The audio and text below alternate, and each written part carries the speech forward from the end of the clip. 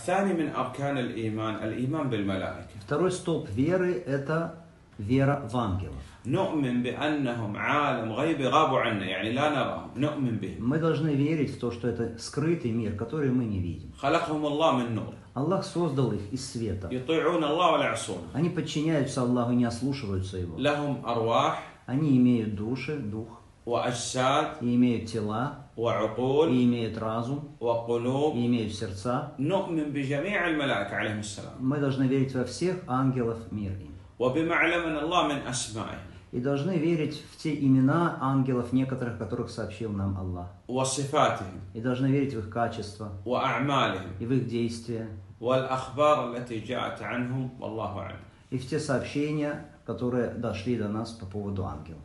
نعم